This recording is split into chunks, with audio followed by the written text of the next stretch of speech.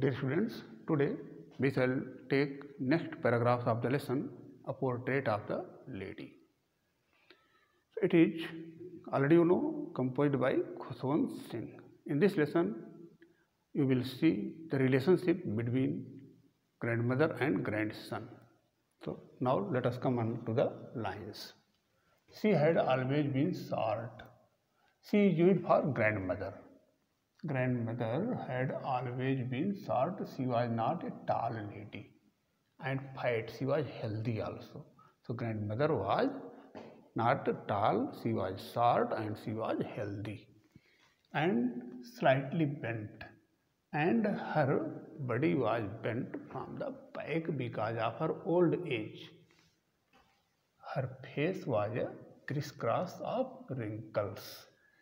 There were lines all over the face, and the lines were crisscrossed They were crossing to one lines crossed to one another.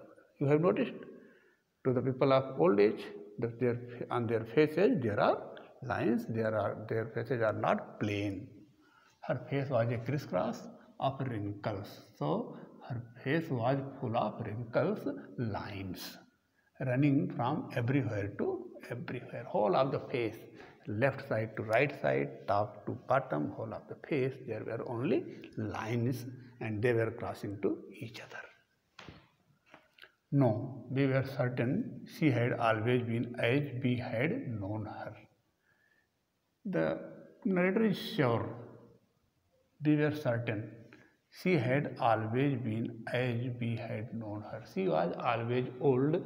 She the narrator was sure that he was, she was not young in her earlier life. Old, so terribly old that she could not have grown older. She was so much old that he thought, narrator thought, that she could not become more old as she was already old and had stayed at the same age for 20 years. For last 20 years, there was no growth of her age. It seemed that she stayed at the same age for last 20 years. She could never have been pretty. In her life, she was not beautiful, but she was always beautiful. Although she was not beautiful physically, but mentally she was beautiful. She hobbled about the house in spotless white with one hand resting on her waist to balance her stoop and the other telling the beads of her rosary. She hobbled about the house. She moved in the house. How? Lamely. Lamely she moved in the house. She hobbled about the house in spotless white. Her face was white and there were no marks, there were no patches on the face of grandmother. With one hand resting on her waist, she kept one hand on the waist. Why for? To balance her stoop. As her body was bent, to balance her body, she kept one hand at the one side of her waist and the other telling the beads of rosary and she used another hand to pass the chain of balls in her hands telling the beads of her rosary. Her silver locks were scattered untidily over her pale puckered face.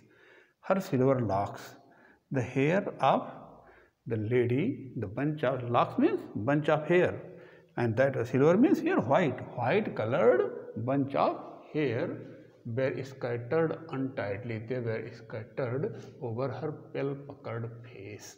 What were scattered? Bunches of hair, locks of hair were scattered untidily. They were scattered on the face and they were scattered on the face as they were not combed.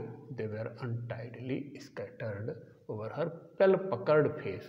The complexion of her face was yellowish white, pale puckered and wrinkled. Her face was yellowish white and wrinkled, and her lips constantly moved in inaudible prayer. And she used to speak something in low voice that could not be listened. What did she speak? She spoke the prayer of God. So, and her lips constantly, constantly means continuously moved in inaudible prayer, and the lips moved for the prayer of God, and that could not be listened because she spoke the prayer in very low voice. Yes, she was beautiful. Yes, here he had used no. Beware sorry about the age, and here the narrator has used yes. She was beautiful. Who was beautiful? His grandmother was beautiful. She was like the winter landscape in the mountain. She was as beautiful as winter land in the winter season as the mountains are covered with snow and they are they look white in the same way she was in white sari and she herself was white so she was looking like the landscape in the mountains, scene of the mountains in winter season that is covered with ice and expanse of pure white serenity. And there was the stretch, expanse means stretch, stretch of pure white serenity. There was the white colored calmness, serenity means silence, calmness. So there was white colored silence, breathing peace and contentment. There was peace on her face and it seemed that she was satisfied to her life. Now, question answer. Question number first, who is the main character of the lesson?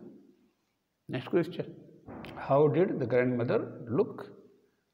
Last question, what do you mean by the word puckered? Thank you.